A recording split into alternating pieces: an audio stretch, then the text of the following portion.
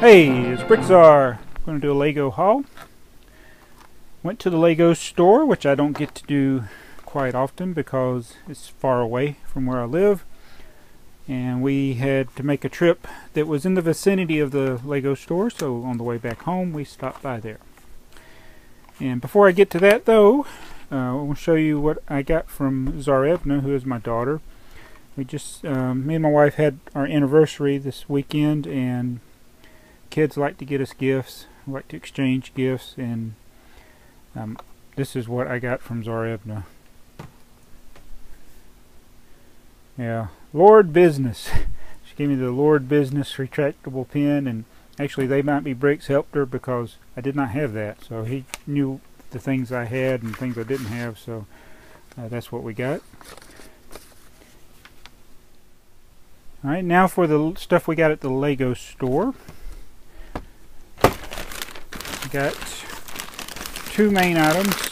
Got the bike shop in the cafe. That set looks really neat. And it will go good in Lego City. And we got the fairground mixer. Which they not they might be bricks does not know I have that now. So that was going to be a surprise for him to build. He is looking forward to building that. And you get the free balloon cart got to do a SpongeBob video with that.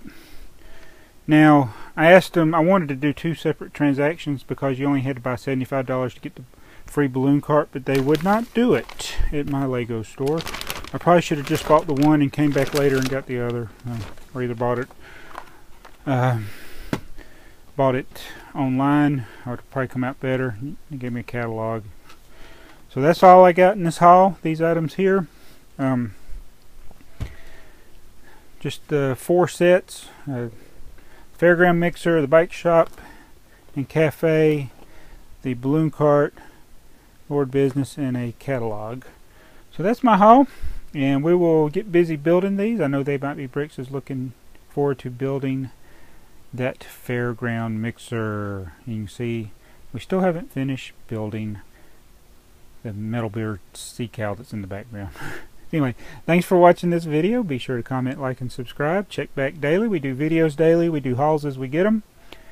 And we do quite a few hauls. And we do uh, working on a schedule that we're we're going to be doing for, uh, for Monday through Friday. And then weekends we'll just do whatever.